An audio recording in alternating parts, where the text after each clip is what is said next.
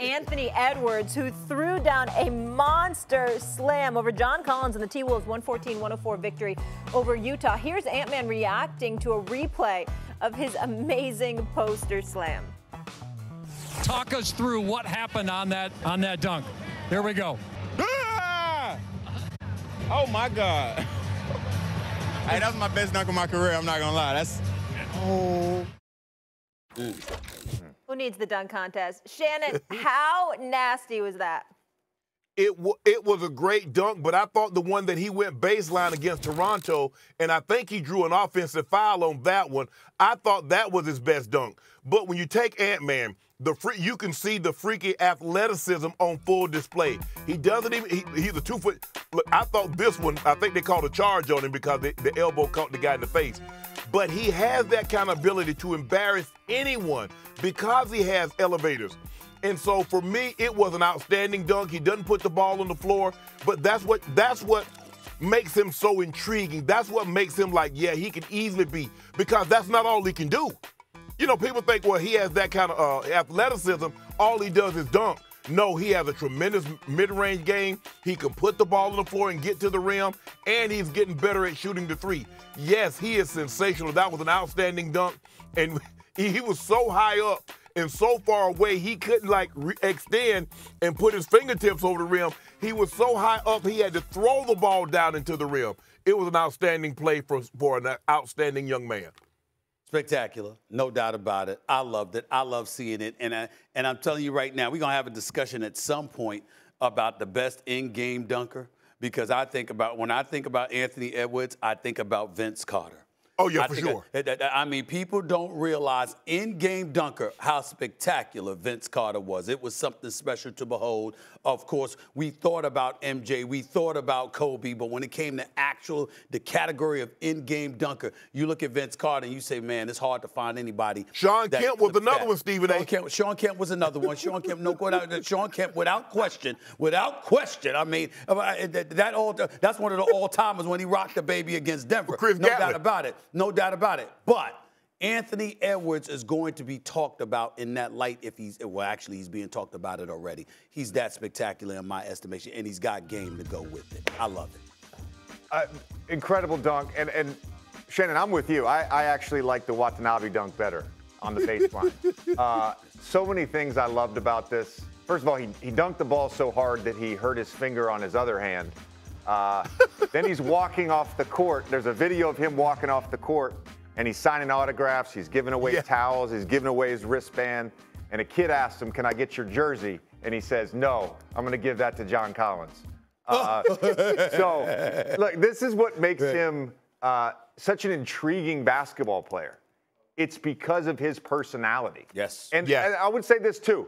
Let's get let's not get lost in the sauce with Anthony Edwards highlights. This is a legitimate all NBA player right now. He's averaging 27 5 and 5 on one of the best teams in the NBA. He's improved as a passer, he's improved as a three-point shooter. He's he's got a bright bright future. Stephen A., is he the next face of the NBA? He is. He's mine. I, I'll say that.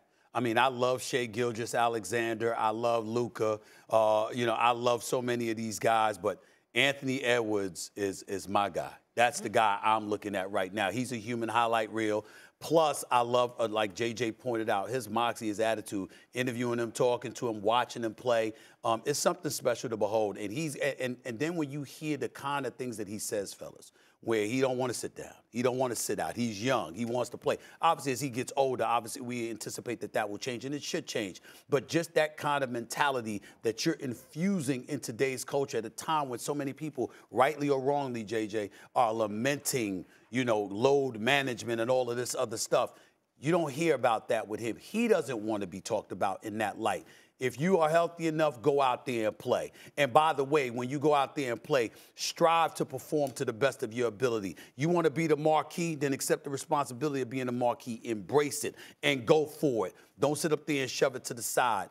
These are the kind of things that he's doing. And Minnesota being as good as they are, with him averaging, like you said, 27, 5, and 5, I just look at him right now and I see nothing but spectacular in his future, and I love it. And then he talks and he got somebody like Shai Gilgeous-Alexander that he's rivaling when they're talking back at one another because we all know Shai, SGA can ball. I just love what I'm seeing. He's my face. He's my next face of the NBA.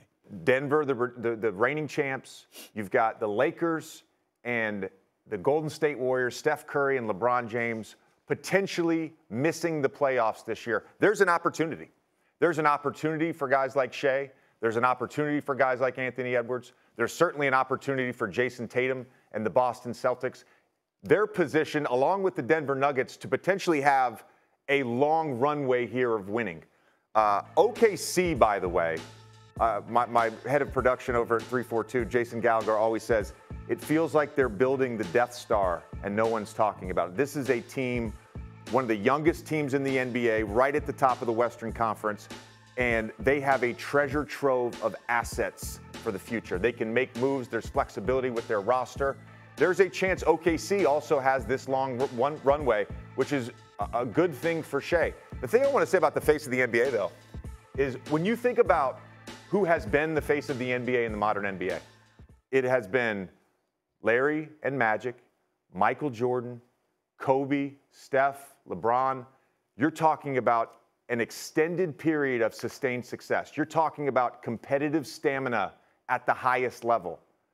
The face of the NBA has no tenure. I'm going to say that again. The face of the NBA has no tenure because the second you get it, somebody's coming after it, which is why guys like Kobe, which is why guys like LeBron MJ, Magic, Larry, all of these guys that have been the face of the NBA over the last 40 plus years, they've had that element of competitive stamina.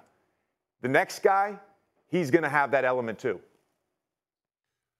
To piggyback what you said, JJ, is that you look at the guys. Golden State might miss the playoffs and then the play in, they could easily lose. The Lakers, same thing. The Suns with Kevin Durant. So now this is a golden opportunity for Jason Taylor, for uh, Jayson Tatum, for Shai Gilgeous, for Ant Man to sue, say, you know what, hey, the guys that we normally think would be the face of the NBA or that's been the face of the NBA, if they've only had it for a year, they're not here. And you know, hey, when the cat's away, the mice will play. So now it's our time to shine. I will say this about Ant Man. The one thing that he's going to have to do, he's going to have to get more serious. You can't go to the NBA and say you can't go to the NBA All Star game and say I'm a horse. I'm a horse around and I'm gonna shoot a shot with my left hand because if you go back and look at those guys, they took it serious. And I think he's going to have to get a little bit more serious. Now, I will say he is what 21, 22 years 22, of age, 22. 22 years of age. But there's look, we understand that you have to be a grown man now because a lot is expected of you. And the childish game and the joking around that you normally do, Kobe ain't never joke around. Did we ever see Kobe joke? Kobe was business all the time. Larry, uh, uh, Magic might have had a smile on his face, but he was all business. And, and Larry, we don't even go to say about Larry because you know Larry was no BS. And LeBron, I just think there are certain situations that Ant Man's going to have to take a little bit more serious than what he's taking now. But he has all the ability, he has the charisma, he has the game to says, yes, I want to be the face of the NBA. I'm ready to be the face of the NBA. It's my time. So he has the game, he has the charisma, but I think he's going to have to take things a little bit more serious. I, Go ahead. I, I was just, I, I, agree with you on the All Star thing. And we, we talked about we this cu- coming out of All Star break, and I, I, think it was a little bit of a wasted opportunity for him. Yes. And, and it's interesting because I, I remember when he was coming out of Georgia, there were questions about his competitiveness. I think that he had a quote that said, I don't really love basketball. And it's very clear after, uh, you know, now three and a half years in the NBA, this guy loves basketball. Yes, it is. And, yeah. and so I agree with you on the All Star thing.